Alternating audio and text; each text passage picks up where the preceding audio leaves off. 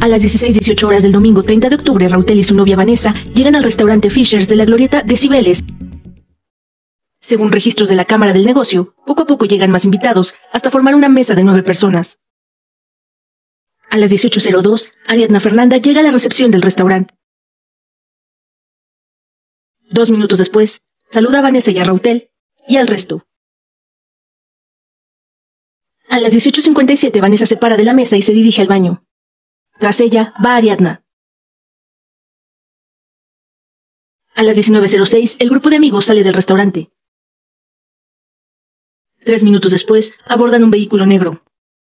Siete minutos después, a las 19.13, la camioneta negra GMC llega al departamento de Rautel, ubicado en Campeche 175, en la colonia Roma Sur. Cámaras exteriores e interiores del inmueble graban su llegada. A las 19.15, en el estacionamiento del edificio, el grupo de seis personas, Ariadna, Vanessa, Rautel, dos hombres y una mujer, descienden del vehículo y se dirigen al elevador. A las 19.17, el grupo de amigos sale del elevador. Ariadna y Vanessa descienden de él tomadas del brazo. 28 minutos después, a las 19.45, una pareja abandona el domicilio. Segundos después, otro de los invitados se retira. Del grupo, solo Ariadna, Vanessa y Rautel habrían quedado dentro del departamento. Es hasta las 10.26 horas del 31 de octubre que una persona identificada como chofer de Rautel llega al edificio en un vehículo blanco. Sale 15 minutos más tarde. A las 11.26, las cámaras del estacionamiento registran cómo sale Rautel cargando en hombros el cuerpo inerte de una mujer por un pasillo y después toma las escaleras de servicio. Dos minutos después, a las 11.28, Rautel cruza el estacionamiento con el cuerpo en el que se aprecia la misma vestimenta y tenis que traía Ariadna. Lo sube a su camioneta y sale del lugar.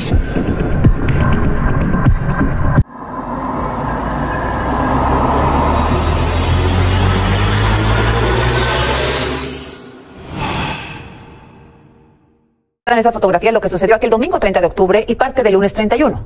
Primero, en el Fishers de la colonia Roma Norte, donde las imágenes de cámaras de seguridad muestran, pasadas las 6 de la tarde, a Ariadna en compañía de sus dos presuntos feminicidas, Rautel y Vanessa, además de otras personas que estaban sentadas en la misma mesa a las 6 de la tarde con 4 minutos. Ariadna se encuentra en el extremo derecho, a su izquierda Vanessa y frente a ellas Rautel. De este restaurante se trasladaron al departamento de Rautel ubicado en la calle de Campeche número 175 en la colonia Roma Sur y ahí fueron captados nuevamente por una cámara saliendo del elevador del edificio. En esta toma se ve a Ariadna de frente, pero no se especifica si la mujer a su izquierda es Vanessa. Ahí está la toma del elevador. Ariadna estuvo en ese departamento por lo menos desde las 7 y cuarto de la noche hasta que su cuerpo fue sacado del departamento a las 11.28 de la mañana del día siguiente, tal como mostró la jefa de gobierno esta tarde en la conferencia. Imágenes muy fuertes que muestran, según la jefa de gobierno, a Rautel vestido con gorra, con ropa negra, con tenis claros, cargar el cuerpo ya sin vida de Ariadna en el estacionamiento del edificio para meterla en un vehículo. Ahí está la imagen. 11.28 de la mañana del lunes 31 de octubre. En otro ángulo, apenas 30 segundos después, se ve a este sujeto de frente en el estacionamiento. Ese mismo día, según informó Sheinbaum, Rautel, llevó el cuerpo de Adriana hasta Tepoztlán, en Morelos, donde fue encontrado por ciclistas cerca de las 6 de las 6 de la tarde. Hotel N, investigado por su presunta participación en el feminicidio de Ariadna Fernanda, se dice inocente, por lo que pidió a sus amigos que lo apoyen y que hagan alguna movilización para defenderlo. La madrugada de este lunes 7 de noviembre, Rautel N se presentó en la Fiscalía Especializada en Feminicidio de Nuevo León acompañado por sus abogados. Soy inocente de lo que se me imputa y no la maté. Es por ello que vengo a afrontar la justicia, así como ha sido de mediático el caso, confío en la justicia y en Dios que sabe que soy inocente, aseguró. Su abogado Marcos Grifaldo Padrón dijo que su cliente se entregó de manera voluntaria porque cree en la justicia mexicana y para llegar la verdad de lo que pasó. Ari, como la conocían sus amigos, desapareció el domingo 30 de octubre. Una primera versión señala que había abordado un taxi tras salir de un bar en la colonia Condesa en la alcaldía Cuauhtémoc. Un día después fue localizada sin vida a un costado de la autopista La Pera Cuautla en Tepoztlán, Morelos. La versión de la Fiscalía de Morelos de que la muerte de Ariadna fue por congestión alcohólica se contrapone con la que dio a conocer la Fiscalía General de la Ciudad de México, que determinó que tras hacerle una nueva necropsia, Ariadna Fernanda murió por trauma múltiple. De Seguridad Ciudadana Capitalina,